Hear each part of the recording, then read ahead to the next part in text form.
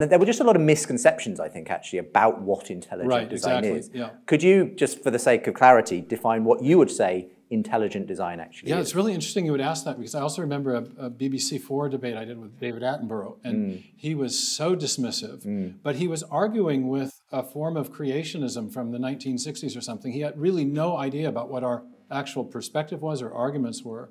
Um, the, some quick definition intelligent design is the idea that there are certain features of life and the universe that are best explained by the action or activity of a designing mind or intelligence rather than a strictly undirected or unguided process, such as, for example, natural selection acting on mm. random mutations in the area of biology. So, what are the features kind of would that encompass when it comes sure. to Sure, there have been a number of things that have attracted the attention of proponents of the theory of intelligent design. One is the uh, one that John has already mentioned, the, the fine tuning of the mm. universe, the idea that the fundamental parameters of physics fall within these exceedingly narrow tolerances outside of which uh, life and even basic chemistry in the universe would be impossible.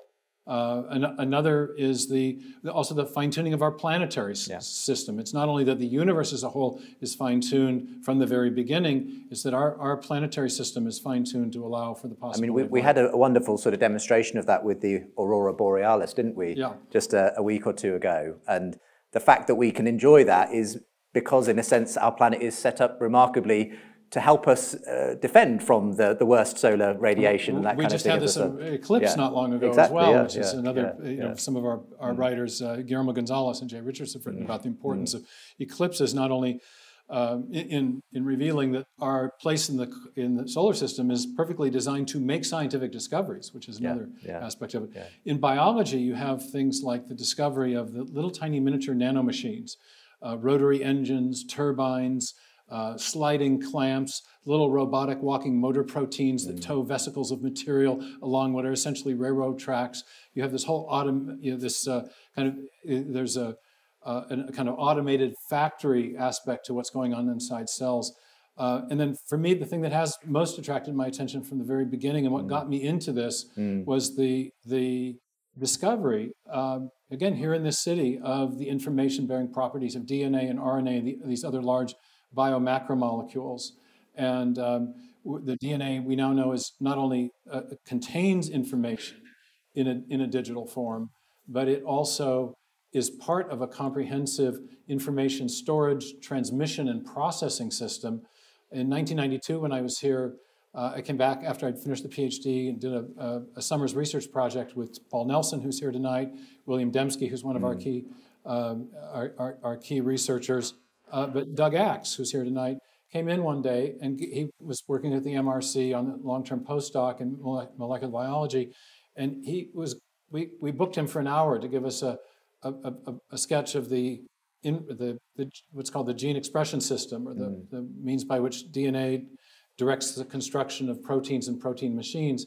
It ended up being a, an eight-hour exposition wow. of this extraordinary system. Yeah. And at the end of the at the end of the discussion, Dembski was already had already uh, nailed his colors uh, to the wall, and, and Nelson was a well-known proponent of intelligent design. But I said, Doug, I said, this is extraordinary.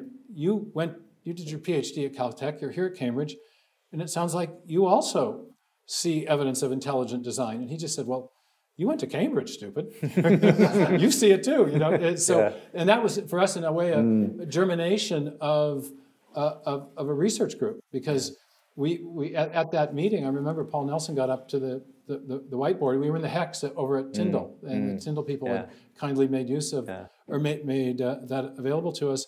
And I asked Paul, how many more people do you know like this that have this perspective? And he got up and he wrote 15 names on the table or on, the, on, on the whiteboard of people who had re, had recently minted PhDs from places like where he was, University of Chicago, Harvard, and, and Berkeley, and Oxford, and Cambridge. And we thought, wait, this isn't supposed to be happening. Wow.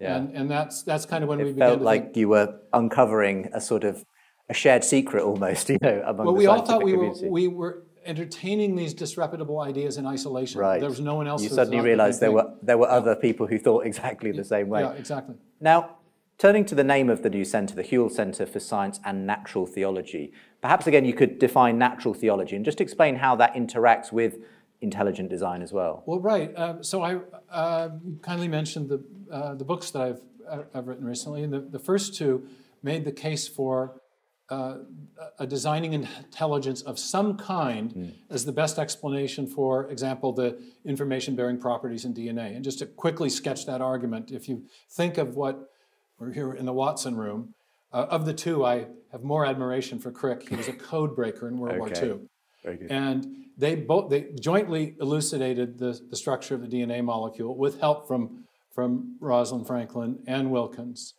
uh, but in 58, Crick took it further and he realized that DNA uh, was uh, along the interior of the double helix. There were these four chemical subunits, which chemists today label with the letters A, C, G, and T. And that's because he realized that they were, and with, with uh, deference to Steve, they were literally functioning mm. as alphabetic characters in a written language would do, or as digital characters in a section of machine code. They had the function of typographic characters in a, in a, in a section of text. And that was, that's called the sequence hypothesis. And I think it's an even more fundamental um, uh, uh, uh discovery than even the structure of mm. DNA itself. Mm. And it took about seven years for that to be confirmed in this period of the, the, what's sometimes called the molecular biological revolution. Mm. And so out of that comes a realization that DNA is functioning like a software program. Mm. And D, our local hero back in Seattle, Bill Gates, has said as much. Richard Dawkins has, has hmm. acknowledged mm. the exact same thing, that it's, hmm. it's functioning like machine yeah, code. Yeah. And what we know from our uniform and repeated experience, which is a very Whewellian thing to say, appealing to our uniform experience as the basis of an explanation, what we know from our uniform and repeated experience is that information, especially in a digital or alphabetic or typographic form, always arises from an intelligent source. Hmm. Whether we're talking about a hieroglyphic inscription or a paragraph in a book, or the information embedded in a radio signal or information in computer code, if you trace that information back to its ultimate source, you always come to a mind, not a material process. And so in the first two books that I wrote, it was about the information problem that had confronted evolutionary biologists first at the point of the origin of life, at the origin of the first cell. And then again, when we look at the abrupt appearance of major new forms of life in the history of life as we encounter it in events such as the Cambrian explosion, which mm. is, was the subject of my second book. Mm. Mm. And so in those books, I was arguing for the need for an intelligent agency of some kind to explain the origin of the information mm. necessary to produce the first cell and necessary to produce all the new cell types that would go into making an animal form. Yeah. Yeah. But then my readers had a question, and that was, well, who do you think the intelligence is? It's a fair question. It's a fair, fair, question. Steve. And, yeah, and what can yeah. science tell us about yeah. us, about that? And then, so, and, and I was going to say, that's, that's, where the new book comes in. That's where the new book comes in. Because you, also, you, you kind of hadn't really talked about God explicitly in those first two books. I mean, obviously, they are, in a sense, um, talking about the whole idea of natural theology at some level. But but, it's, but you really made a, a conscious decision to, to talk about God in the new book. I did, and I, because it is a natural question, and yeah. it's the question of natural theology. Yeah. So intelligent design allows you, with using standard methods of scientific reasoning, to infer an agent or a mind of some kind. Mm. So we would we would uh, characterize that or classify that as a form of historical scientific reasoning, where historical sciences are particularly concerned with inferring causal origins, determining causal origins. And it's just interesting, a great connection to Whewell here, because in my PhD dissertation, looking at the methods of historical scientific reasoning, Whewell was the first person to characterize those and to show that they were different than what you would do in, say, laboratory or experimental or bench science, where you're looking for regularities, where Whewell said in the historical sciences, you're wanting to infer back to a past cause, to an event that can explain mm. the things you see. Mm. Um, so uh, in any case, the first two books were, were formulating a design hypothesis as a, we thought, we think, a properly historical scientific hypothesis. The, the third book was then venturing into the area of natural theology, which is addressing the question, well, what can nature tell us about God specifically?